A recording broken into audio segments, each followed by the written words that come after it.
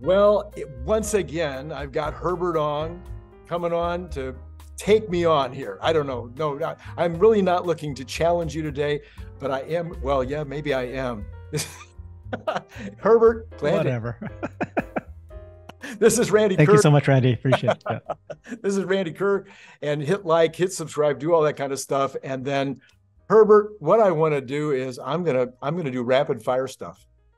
I want you, I want to get you on the record. I think you've probably already answered every one of these questions on your program, but I'm just, you know, so rapid fire. We're going to start with you're in my favorite topic, Optimus. Okay, what do you now think? I know that I've been banging on you and trying to get you to come over my side on Optimus. Let's see how far. Let's see how far that's happened. Okay, number one, what do you think it's going to cost to make Optimus in volume? Oh yeah. So I've interviewed four Tesla bot experts, bot experts in general. Everybody says by looking at all the parts, and you can see every single part on the bot as well. Um, it's pretty well known. Everything that's going to be in the bot. The cost is going to be less than ten thousand um, dollars. And of course, that number changes based on the the, the manufactured hand maneuvered. It's going to be hundreds of thousands, and but the eventual cost will be less than ten thousand. So I would go with that number. I feel like it's pretty comfortable. Uh, just again from my interviews with all these uh, bot experts. So okay. I'll go with what right. they said. all right. When when will we have over 100 in use in the factory? Okay, so this is where you got in trouble. Yeah, uh, because you know the estimate that we had, um, you and Scott, was that there was going to be this, you know, 500 plus number of bots by the end of this year. We saw Elon say that you know there's maybe 10 that's uh, walking around today, but but he did say so he threw water on people who were more optimistic about it. I had kind of like said maybe 100 bots by the end of this year. But what Elon said was by November, once we get the actuators finalized, we're going to be able to then take that bot and be able to then I don't know exact words. I can't remember. We we looked at this transcript, but basically, it it, it sounded like it was going to be the bot that they're going to do at scale. They're going to start making more of for next year. And then he did say that by next year, it will be a useful bot used in the factory. So it is one of the reasons why people say it's going to be, you know, instead of saying, oh, there's only 10, then there'll be 30, then there'll be 35 and 40. The reason why many of us are thinking it's going to have to be 100 or more is because the whole point about bots learning or cars learning, which are really just bots on wheels, is the more that you have, the more data, the more visual that it can have, the more uh, opportunities for it to grab things and move things around, to test its uh, understanding of the environment and you need hundreds and hundreds, if not thousands of bots. We actually even had the CIO of the OpenAI, um, uh, uh, the, the part where he talked about how they decided not for OpenAI themselves. He said that we decided not to become a bot company ourselves is because in order to do this, you need thousands. And in fact, he said tens of thousands of bots to do this properly. So instead, what OpenAI decided to was find a bot company that they then invested in, right? He said that himself. Right. So, you know, so the whole the whole thing now points to the fact that yes, things were slowed down in terms of our expectation to November, but afterwards we do see a lot. So, long answer to your question, I do expect a hundred by next year for sure, if not, you know, more not more than that at that point. Next year, mm, January, March, uh, I'm not. I'm not. I cannot oh, okay, say this right, anymore. All right, all right, not going to jump okay, through that. Okay. Pilot into line, trouble already. so pilot line producing next year. That we we would agree on that one. So I mean, or even depends, a full right? production if, line. If if you yeah, what he said was the one item that we needed to build ourselves is the actuators. That's yeah. what they he, they brought up. Right. And we had already heard him say this stock comment already before that they were building their own actuators. Right. For so why so we thought it had already been settled. You've seen them in action with bots, but for them to say by we think that by November that's when the actuators will be resolved. But it sounds like that's the last remaining part. So again, like I said, the parts of a bot are not that uh, complicated. The only reason the actuators are complicated is because they purposely are trying to make them a scalable product. If they weren't trying to make the scalable and manufacturable, it's ready but they're trying to finalize design because they want to have one actuator the same actuator to be used in the 40 parts of the bot. That way, they just make one actuator. They don't have to make two versions of it. They just make one version and it's used for every part of the bot and all that. And so that's why it's taken a little bit longer. But once it's done, making these parts is not hard, especially for Tesla. So the scalability, we know that they already hired 50, if at least 50 people to work on the Tesla bot, and they're already designing the production line. So, so by some, by next year, this this will be already in a uh, scaled kind of model instead of the hand hand built. Will it be offered for sale? No, no, no, no. Lease this is where you and I differ. I've oh, always no, no, said, no, no. We're agreeing. I'm saying lease only. Lease only. Oh no. Well, even for lease or sale, it's not oh. going to be offered to First of all, it's not going to be offered to consumers. No, I know no. Warren Redlich is all about that. It's not. This is going to be used by Tesla at their factories. The first thousand, first five thousand will be all them, and then I would expect them to offer it, maybe sell it to their subcontractors for their car manufacturer because the the savings for the Tesla is so massive. Once that's moving along, they might start offering it to to to others. Now, the part that kind of like it's a it's a one it's a it's a weird answer because I would also expect that once they have it in scale and it's actually so easy to build the bots, and then they have so many of them, they could start offering it to you know it'll be like they'll use everything they want, and then all of a sudden they'll be able to make more. But remember that uh, Tom Zhu, uh, the COO for well I don't know exact title. I can't. See, I think he's still senior sales and global for global uh, manufacturing. He did say that he expects five thousand Tesla bots for Giga Mexico. Right.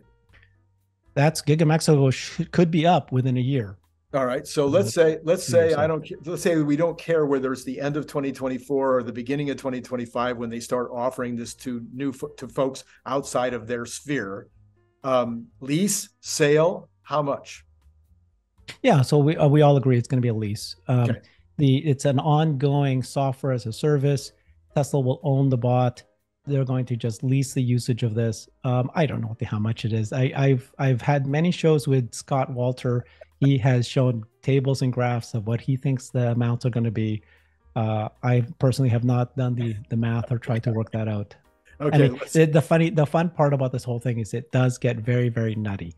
Yeah, yeah that's what Elon very has nutty. said. Because, you know, like we said, let's say that the cost is not ten thousand. Let's say it's twenty thousand. Let's say thirty thousand. It almost doesn't matter what the cost is, because these bots could last for a long time. And the value to the person buying it, if you add up there, even if you take minimum wage or you take a fifty dollar per hour salary plus the benefits plus the the, you know, how many how many hours it can work at a time. The value to an employer is so is in hundreds of thousands of dollars. Yeah, it's about fifty thousand about fifty thousand dollars per shift per year. Yeah, as a minimum, and so again, as a minimum. this part, I think that not everybody is talking about this, but if it's such, if you think this through, and if a bot is that is so so so useful, especially to Tesla. And we've already identified, you know, just by going down the uh, the automotive line, Scott and I were looking at the China Giga yeah. Shanghai, yeah. and every time the video was showing, he was going, "See that guy? See that guy? see that guy?" Each of the jobs that you can see on the video that they were doing could be replaced by bot. There's going to be so many things that are replaceable. Yeah. Um, and so it's like, why would you, as Tesla, why would you, why would you not at this point basically do bots. Like put all of your effort, right? Why do cars? Now, I'm not saying they're going to drop cars, but the bot is so much more profitable, you know, uh, than a car. But once the bots are working in the car, all of a sudden the car becomes incredibly profitable, but it's also part of the mission. Right. But the point being that the bot has so much potential that wouldn't you as a company then just boom, we become a we're a bot company now, and the cars is a secondary line item. So That's what I fully expect you spin off you spin off the car division. this will be a Randy Kirk. This is the first. Okay, I, we're now predicting that we're going to spin off the car division. Oh, Randy. Oh, Randy, please. No. All right, let's go to energy. Energy. Lathrop will be fully ramped when? Yeah, so we just talked about it in my show just yes. now, right? So we know that uh, the first quarter they had four gigawatt hours. Lathrop will have 40 gigawatt hours when it's fully ramped. In the second quarter, they doubled that. So they're at basically 10 out of 40. That's 25%. But I fully expect that they're going to be fully ramped uh, by the end of this year. So we're at 10. Yeah, they, you know, it could be just the 20. Maybe, maybe, maybe, you know, so that's doubling of what if they just did what they did in the first six, they'll be at 20. So, but we know that you know this is like lines. Once they've got it Yeah. ready to go, it's faster and faster to put the second, the third, and fourth line. So maybe not by the end of this year to be fully ramped, but certainly way past. Um, way by the end of this year, it'll be way past uh, seventy-five percent, eighty percent. So maybe first So maybe quarter. Q1. First quarter. Yeah. All right. Okay. How about uh, when does Shanghai begin shipping uh, uh, megapacks? Shanghai shipping megapacks. Okay.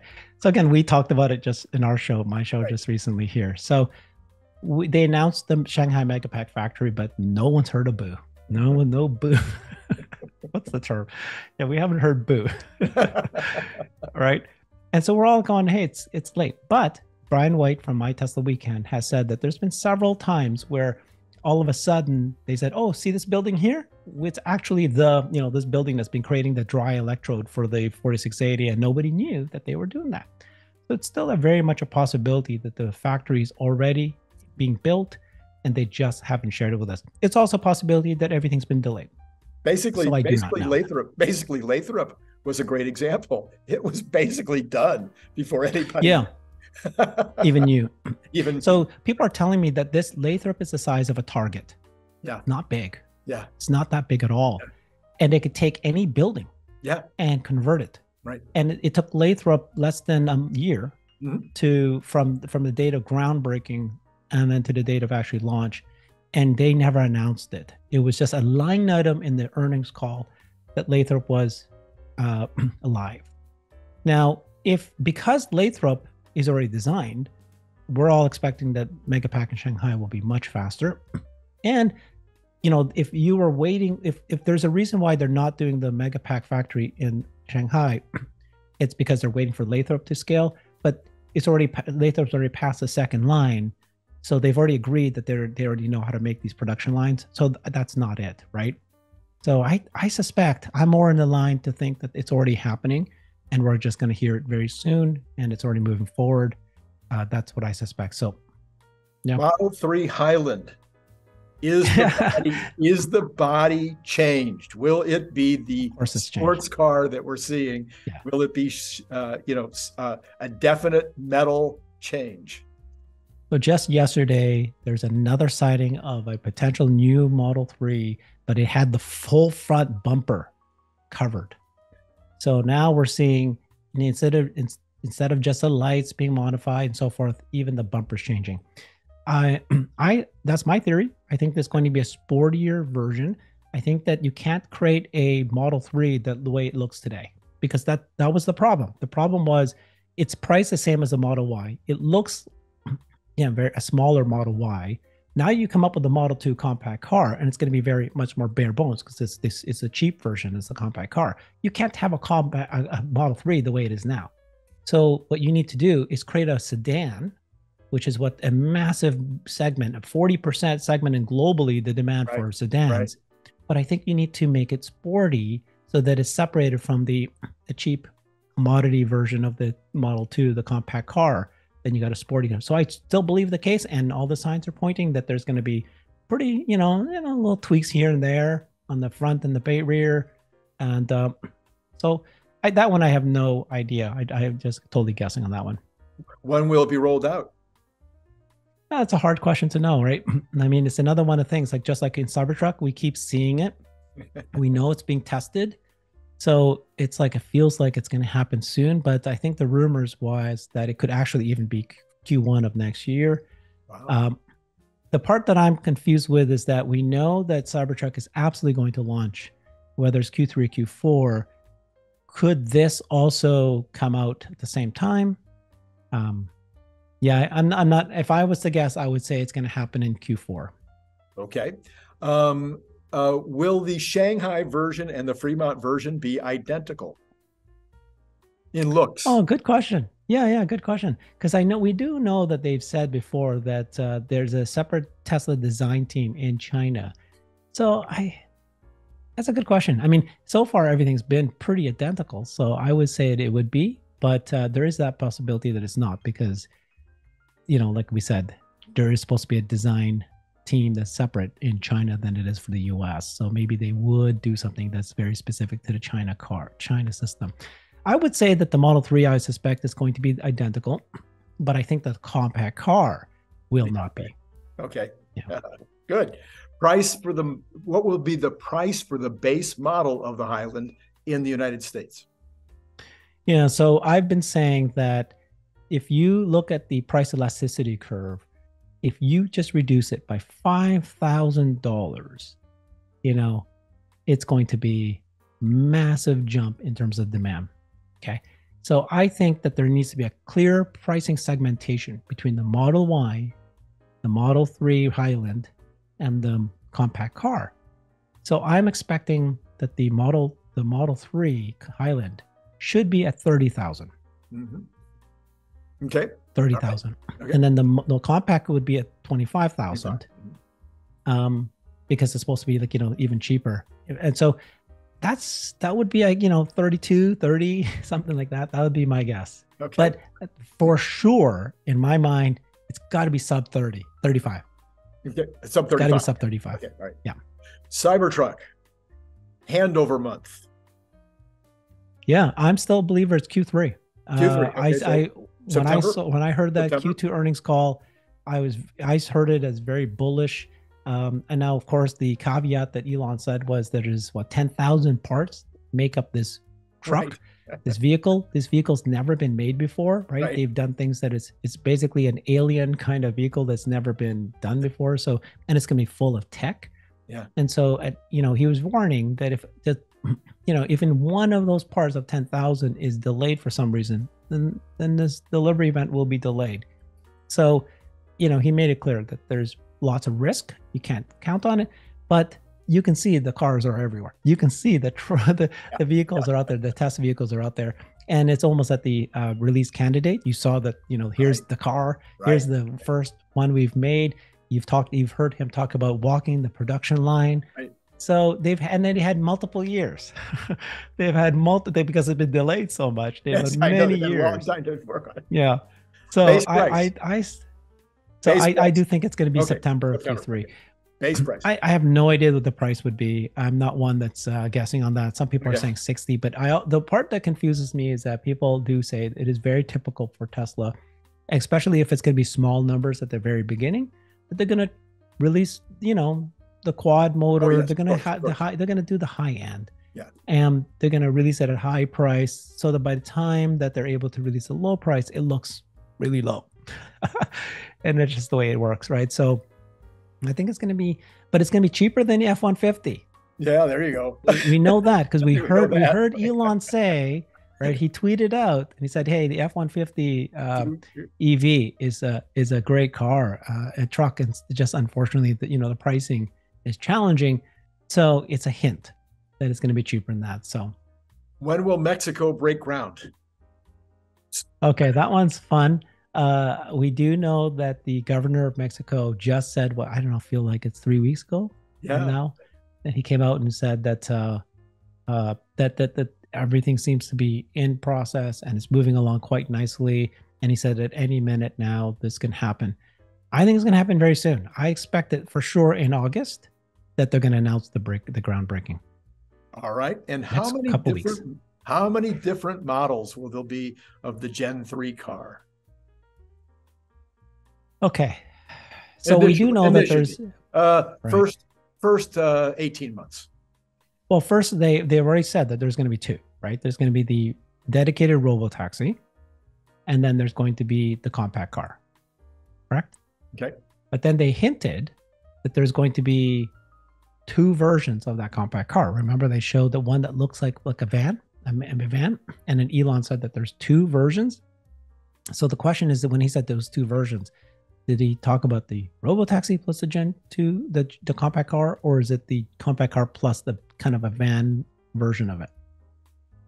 So I suspect it's going to be three right off the bat. Why? because it's the unboxed model. The right. whole point, one of the reasons why they created the unbox model, and if the, what that is, is that instead of taking a vehicle and moving it through the production line, and every part of the production line is pretty well decided and determined exactly what they do at that moment in time, right? it's the it's the production line that's been available since Taylor Hicks, since Ford Motor Companies invented it, since the butchering of, of cows, right? Um, this is the unbox model, which is a reinvention of the production of cars, where you, you take components of it and then you can plug them together like Lego. So even the electrical systems, the batteries, um, they connect together. What that allows you to do is have a platform and create different kinds of front ends, back ends, top ends, and just plug it in. Yeah, and each yeah. one of those could be made at any at their own production lines. And so it's not going to be that much harder to just create one major production line and then you have you know the the compact car the robo taxi then you have the minivan that's why they did it this way is to be able to do that so i suspect that there will be three uh, because there's the robo taxi which is dedicated robo taxi design a compact car for sure that's the first one and then a minivan a, a van, van so herbert you know um, this is so much fun can we do this again i want to just um, let's let's stop now, and then uh, I'll have you back on later this week, and and we'll do about the, the, the rest of my list. Would that be okay? Sounds good. Let's do it. All right. All right, great. So always great to have Herbert on. If you like having Herbert on, please hit the like, hit subscribe, hit notify, all that kind of stuff. And then uh, we need to, we need the people to follow you, right, Herbert? They need to follow you at your YouTube channel. They need to follow you on Twitter, everywhere you are. so they should they should look for you at Brighter with Herbert on YouTube, and my Twitter is Herbert Ong. All right, Thank and down below, those things will be uh, be down in the description. So, uh, for all of you out there, Herbert, thank you so much again for being here, and for the Thank rest you. of you, it's been great talking to you. Click the link below to get your paperback, Kindle, or audiobook now.